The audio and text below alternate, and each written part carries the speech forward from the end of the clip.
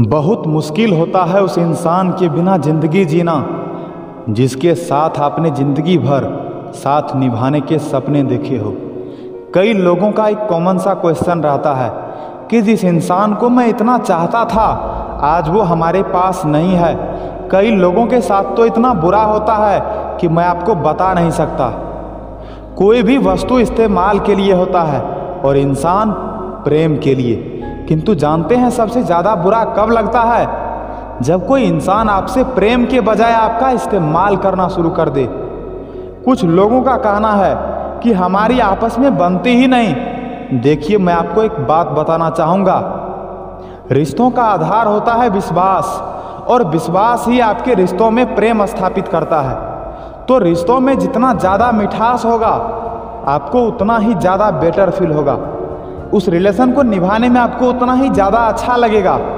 आपको यदि कोई इंसान बार बार परेशान कर रहा हो तो मैं समझ सकता हूँ कि आपको कितनी परेशानियों का सामना करना पड़ता होगा।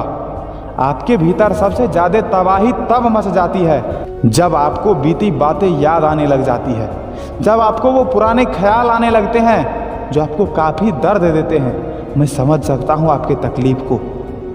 जानते हैं, कुछ लोगों को धीरे धीरे ऐसे लगने लग जाता है कि शायद उसके ज़िंदगी में अब खुशी आएगी ही नहीं। किंतु ऐसा कुछ भी नहीं है। आप एक बात जान लो, ये ज़िंदगी सुख और दुख का संगम है। सुख भी है, दुख भी है, कठिनाई भी है, परेशानियाँ भी है, हर कुछ आपको ही झेलना होता है। आपके रिश्ते में यदि छोटे छोटे झगड़े हो तो ये कोई दुखद बात नहीं है, क्योंकि ऐसे पलों में आपको समझदारी से काम लेनी पड़ती है। आप यदि किसी भी इंसान से प्यार करते हो, चाहे वो कोई लड़का हो, कोई लड़की हो, या फिर वो आपके परिवार के ही कोई सदस्य क्यों ना हो, आप ये हमेशा ध्यान रखो कि आपसे कभी भी किसी प्रकार का कोई भूल ना हो।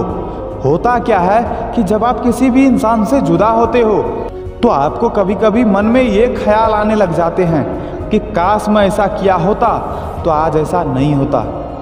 आपको यदि लगे कि आपका रिश्ता आपके वजह से टूटा है तो आप गलत सोचते हो। आप कभी भी गलत कर ही नहीं सकते। अरे, कोई भी इंसान कैसे चाहेगा कि उसका रिश्ता टूट जाए?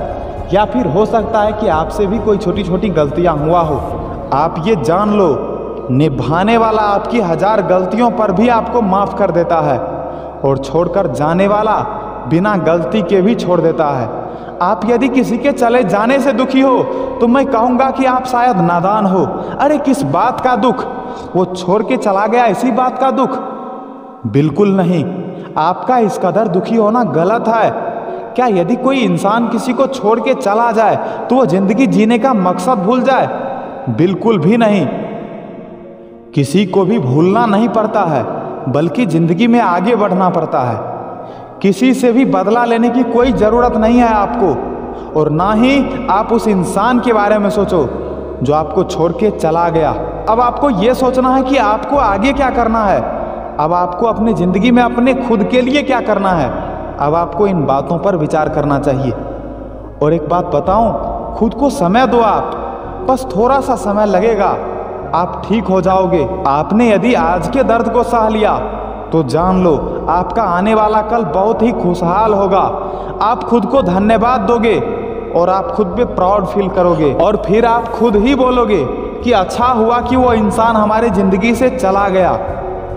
इसीलिए मैं यही कहूँगा कि आप खुश रहो। हमेशा खुश रहो, कभी भी टेंशन मत लो। अरे, अपने लिए जियो ना। क्यों दूसरों की वजह से परेशान रहते हो? क्यों दुखी हो जाते हो? बिल्कुल भी दुखी नहीं होना है। मैं समझता हूँ कि अब आप ज़रूर ठीक हो गए होंगे।